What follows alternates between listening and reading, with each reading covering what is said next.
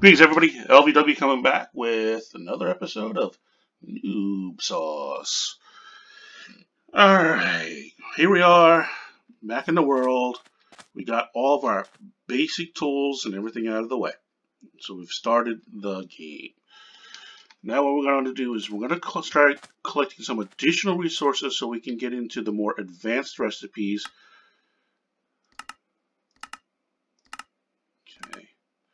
such as our stone tools and everything else.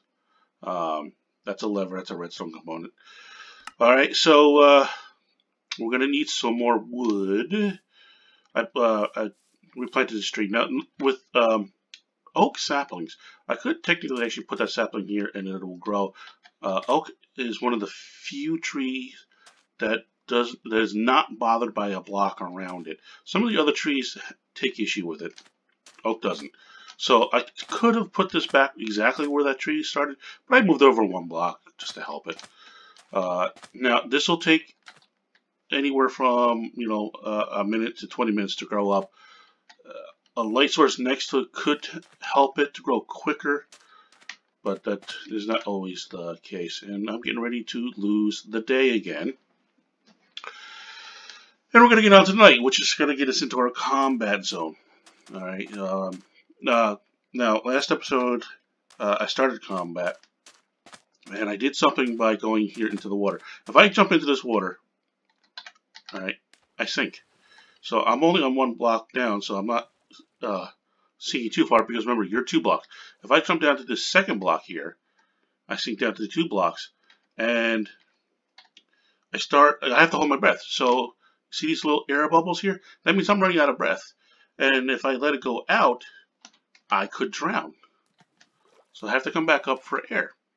Now, to keep yourself from falling into the water and potentially drowning, if you hit the, the spacebar key and jump, which is what you normally do to get up a block, so if I'm here, hit spacebar key, that's how I jump up. If you continually jump while you're in the water, you keep yourself above water from falling in. Uh, I now have a source. I'm able to fight. And I put a torch up here to help mark out where the... Oh, our first sapling grew. Look at that. We have our first tree growing from a sapling. That, and actually we have two. These both have grown. So we now have more wood for us to make additional items. Um, there are several tree variants that are around. This, of course, is the oak. You can tell by this light brown texture. Then there's the um, birch. Birch is a white tree, uh, usually marked with the, see the little black flecks that are in it. Uh, that's a, uh, when you craft it's like a, oh, I would say kind of a yellowish, whitish uh, tint to the wood. I'll show you that when we collect that. And then you have the acacia tree, which is over in that savanna, which has a very orange look to it, or gray logs, but when you make it into planks, it's orange. And this is how I knew this part of section here is a desert. See the cactus? Cactus only grows in the, desert. And look at that creeper. He just formed it. See that? Look at that. Sneaky little guys. You can't hear them approaching you. Which is why you always got to continually look around because they will come up and explode. Ugh. You'll see it. It'll eventually happen to me. It always does. Me and creepers, we don't like each other. Not that any mobs do. Alright, where are we here? So, um, I'm going to collect this wood. And here comes a zombie.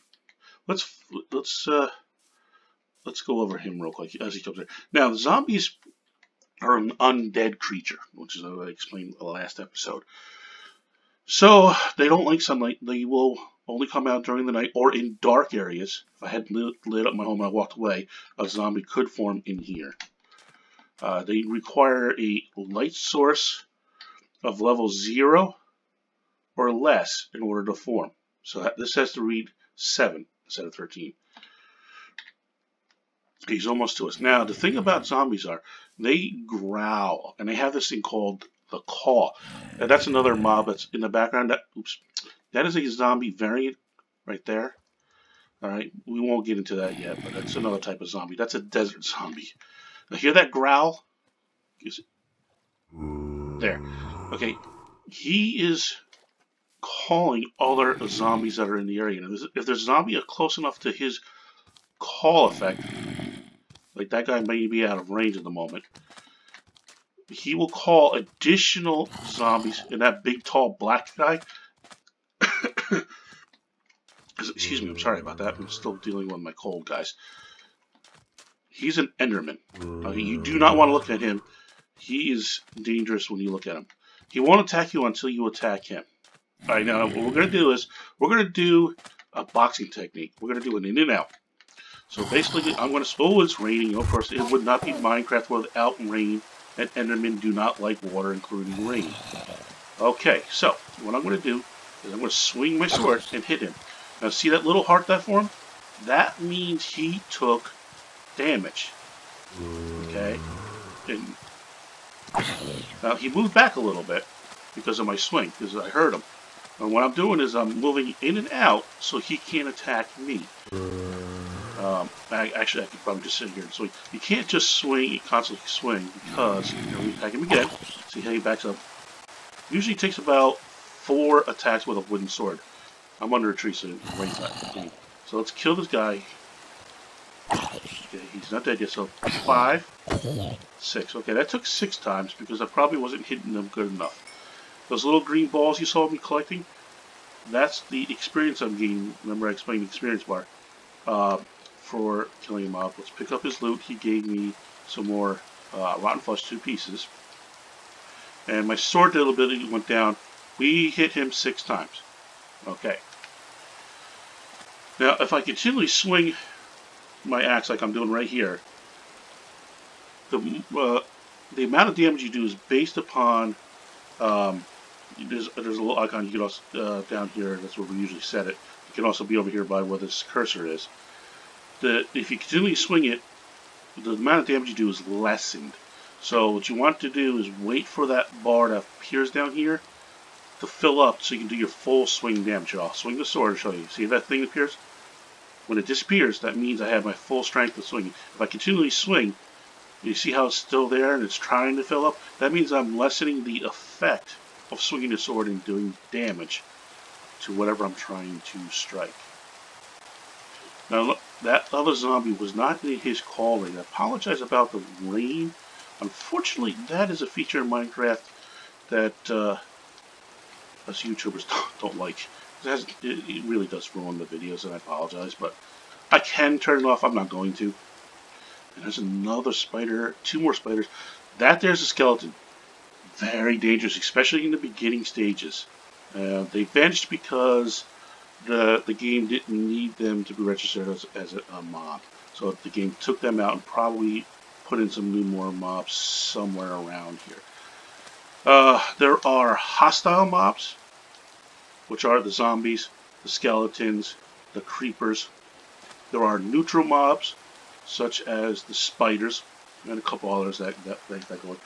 Endermen are neutral until you either attack them or look at them at their at their face if you stare at their face, they'll attack you. They get aggressive.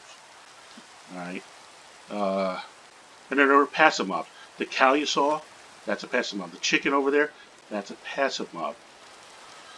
Mobs are, are, are nothing more than monsters or creatures that form in the game. See now there's a creeper all the way over there. The squid that forms in the water, that's another mob. And uh, See, that basically covers the... Ah, here we go. Okay. Let's... Ah, see now look, he called in another guy. See that other guy behind him? He called him, so he's running towards to help his buddy here to attack me. I could just stand here swing. He may back up, he may not. Eventually he may actually hurt me. I'll let him hurt me. Okay, now see, look, I took a point of damage. I took two hearts of damage for that. I'm starting to regenerate because I have full saturation on my health. Now see, starting to shake here? That means I'm using up my saturation. I'm using my hunger. And in this case, because I was healing. Now I'm down a full one and a half uh, on my saturation. So because I'm down, I'm not going to naturally regenerate. So if I take any more damage, I won't heal. Alright. Oh, we got two creepers formed there. Three. Three. Look at that. See? See how I'm saying how this game gets dangerous? Okay. So, what I'm going to do is I'm going to take one of these apples and I'm going to eat the apple. I right click on it while I'm holding it. I eat it. You hear that, no, no, no, no, no, the crunching, that noise that you really shouldn't be making at the dinner table. And in the process of doing that, my saturation and my hunger bar went up. Now, the amount of saturation you get from an item depends on the item. If you eat a, a, cookie, which is in the game, you get less saturation. I ate an apple, I have a little bit more saturation, which means that, that takes longer for me to become hungry and I start losing my hunger bars. So now that I have full hunger bar again, I will naturally regenerate. And we're getting to the sunrise. So we went, oh, if you see that pink thing in the desert over there, that's a pig. That's another food source. And that green stuff growing over there, that's sugar cane. Right? I think there's a sheep up there. See that white dot right there? Just, just below? Yeah, that's a sheep. That's another passive mob. We need their wool. Excuse me, I'm sorry. Alright. Hopefully the rain will go away when the day comes. Now, these guys are not going to disappear. I'm going to go around them. I want a little bit more wood, and but I want to get some of this additional wood here. So we're going to go, and I'm going through the water. I'm doing the jumping thing so I can move it so I don't drown and die. But we're also going to want to get some seeds. Okay, see this, this this little tuft of grass that's growing here? You have a grass block here, which is like this fat, you know, flat grass lawn that you'd normally see. And then you have this like one tall, there's also a two tall version of the grass, which is what you see in the field and some of that. If you hit that, it has a chance of dropping what's called a seed. So we'll, we'll, we'll take a couple of these out to see. Okay, there it goes. See that? It dropped that. That's called a seed. By collecting this, I'm to grab that egg while I have my chance. Okay, by collecting this, I can now create a farm, uh, what's called a wheat farm. I plant this, and it will grow wheat, which is a food source for my character. So let's, uh, there's another one. Good, We've got lucky, got two so far. I think I have another, a couple more of these, see if we get any more to, to get three. I heard growling. So you sit now. It may be daytime because the sun is up and it's grayed out. See, you know, come into the desert here. It doesn't rain in the desert. Okay. See how it's gray out? That that's how you know if you're like in a like savannah. It doesn't rain. Doesn't rain in the desert. Yeah. See that? See that right back there? See that dark oak? That's another type of tree. We'll go with that. In that's a roofed forest biome. We have a hole here. Ooh, maybe, maybe. End right there. I have a hard time not exploring holes. I love to explore holes. Okay. Get back to where. Um, this is how you know if you're like in a dry, arid area, if it's raining, if the, if the sky is grayed out. Uh, but during the day hours, if it's raining, the, the mobs that are normally destroyed by sunlight, they will not be destroyed. Alright, let's grab some weed. Let's grab this birch tree. Okay, see how it's white with the black? See, kind of like the inside is a little yellowish. It, you know, basically think of it this way. When you're looking at the birch tree, think of a cow. I mean, you know, of course cows come in many different colors, uh, but the most common and most people know is white and black, or black and white, whatever you want to say. It's really irrelevant. Uh, now, the only problem is, since these leaves are connected to these other two trees, the chances are these leaves will not naturally decay. So we may not get a sapling out of it, but we can punch the leaves. And don't believe anybody that tells you punching leaves lowers the chances of of uh, getting saplings. That doesn't exist anymore. If it actually really ever did, to be honest with you. Uh, okay, we may actually not get a sapling out of here. If we don't, we don't. Not a big deal. There's more. Oops. Oops, that's an oak sapling. That's how you can tell the leaves. See how it's a like a more drab color green or like an olive green, if you will, versus this more vibrant or brighter green. That's the birch. Ah, good. We just got him. There it is, a birch sapling versus the oak sapling. So to take the rest of these out, so we can get rid of another one. Uh, keep an ear out for mobs. You'll hear them probably before you see them. Okay, now, now see how sapling dropped up on top of this tree? Remember that, that where I used before pillaring with the dirt? So if I stand here, I jump and right click at the same time, I place a block underneath me. So that places me one block higher than the ground. I do it again. I now do what's called pillaring, and I you know, climb up by this technique. And then I can jump up here. And If there was a sapling up here, I could collect it. Get back down, all you do is punch it or use your shovel. reclaim the block. And then you pillar down. That's called pillaring. You can also use that in combat. If you're if you're surrounded by mobs, hostile mobs, and you're cornered, you can pillar up at least two blocks because most mobs are, are too tall. Try to stay in the center because they can punch you off because they can jump. Um, you can actually go up. What, oops, there. Good. Stop raining. See how the sun is out now? Okay, the sky is no longer grayed over there. You can go up a third block. If they jump, they can't hit you. But then what you can do is swing at the mobs around you. And then they won't uh, they won't, you know, get you. It's called, we like, the funny terms, we like to call it Nubaveda. It's a Nubaveda. Okay, so anyway. Uh, so we got the birch. We managed to grab a sapling. Uh, I'm going to convert one of these just to show you what I mean by the color. See this? It, it's like a whitish kind of yellow, more white than anything else, but it's it's it's like a whitish yellow. Um, I think vanilla. It's actually probably the more better more better, not that's good English, but a, a better term for what they're calling the color. Okay. While we're out here, we got our seeds. I covered the water basics.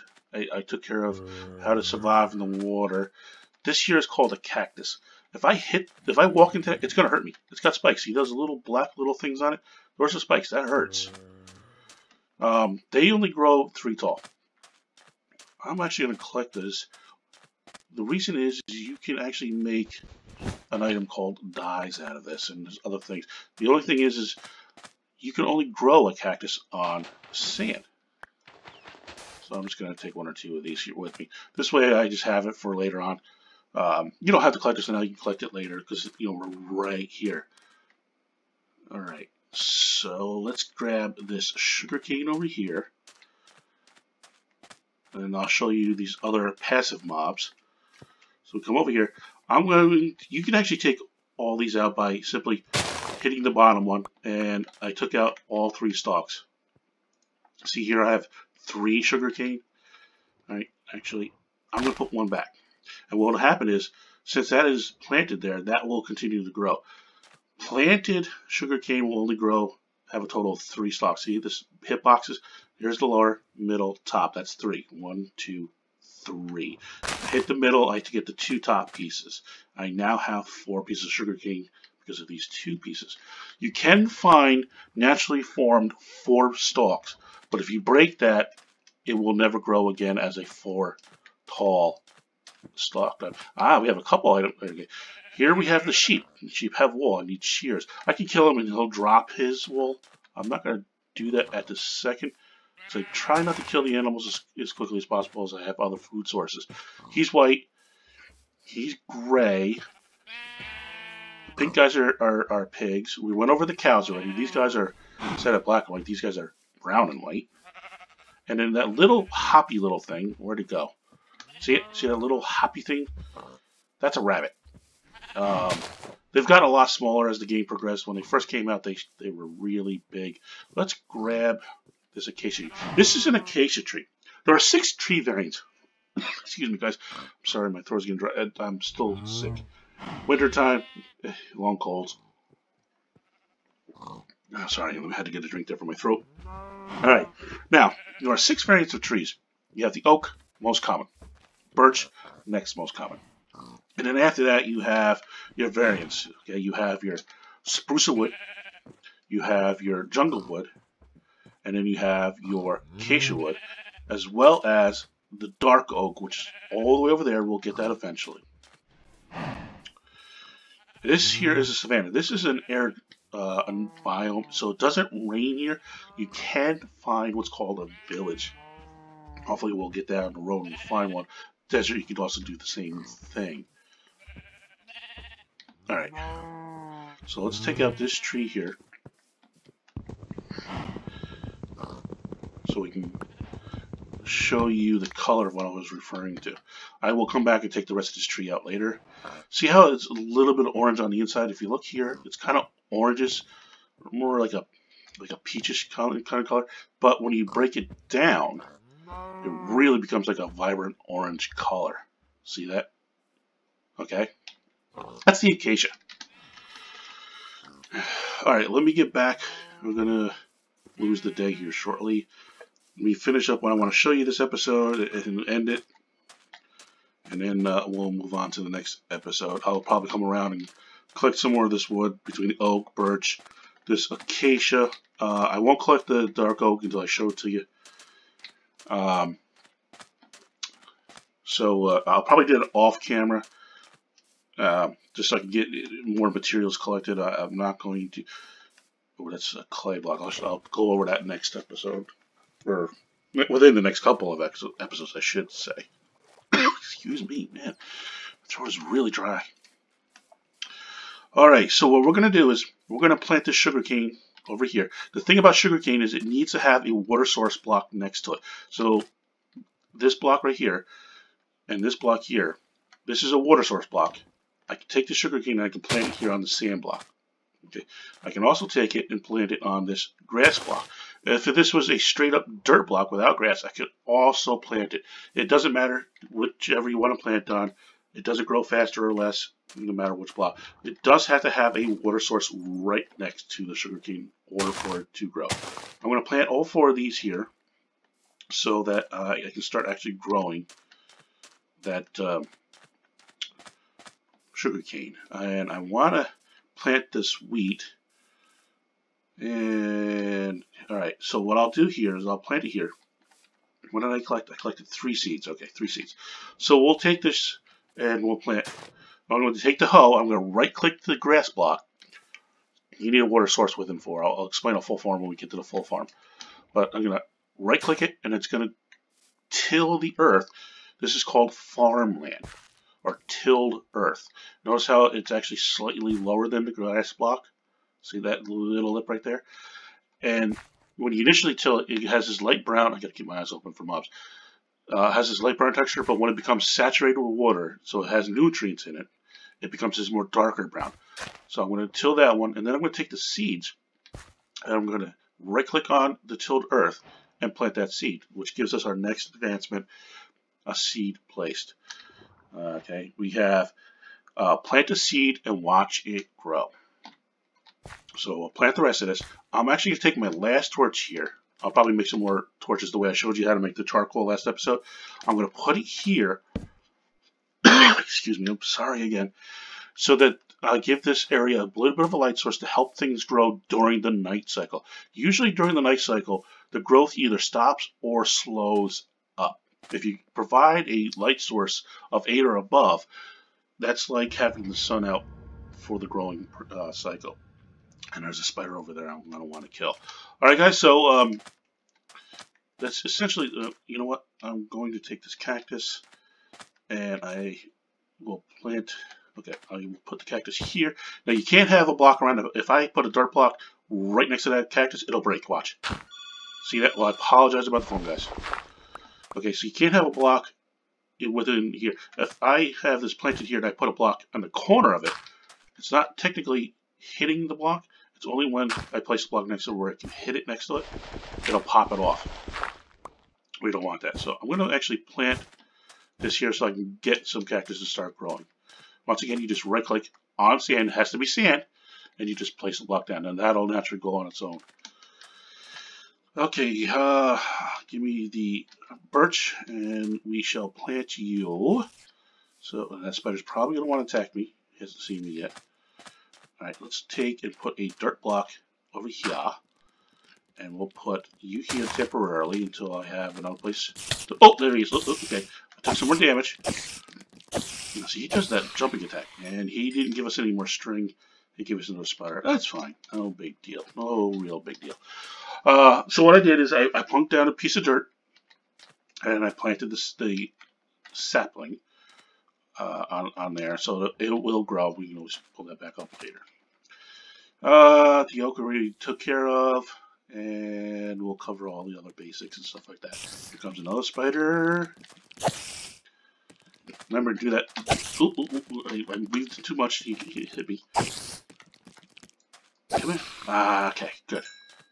Get some more experience. Alright, that's that weave it out. Basically, you, you know, move back and forth, back and forth. That's your WS keys. Okay, that's that bob and weave, bob and weave. That's that boxing term I was referring to. Alrighty. Alright guys, so we'll catch you next episode. And uh, when we get some more materials collected, we'll cover more of the more farming stuff. I got to go around and start collecting some more of this wood and getting uh, some resources. I can show you more of the basic stuff and get this island kind of lit up so we excuse me so we can move on with the game. All right, guys. As always, thanks for watching. Thanks for supporting. Y'all take care now. Bye.